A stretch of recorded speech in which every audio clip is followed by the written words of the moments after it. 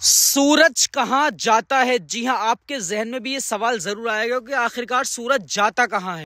एक मरतबा साहबा कराम ने रसूल पाक सल्लल्लाहु अलैहि वसल्लम से सेम यही क्वेश्चन किया कि हुजूर सूरज आखिरकार जाता कहाँ है? तो अल्लाह के नबी वसल्लम ने शाद फरमाया, सूरज जो है अपने जैसे मकदार से चलता है, उसी हिसाब से चलते चलते अल्लाह के अर्श के नीचे जाता है। और अल्लाह के अर्श के नीचे जाने के बाद अल्लाह रब्बुल इज़्ज़त को सजदा करता है।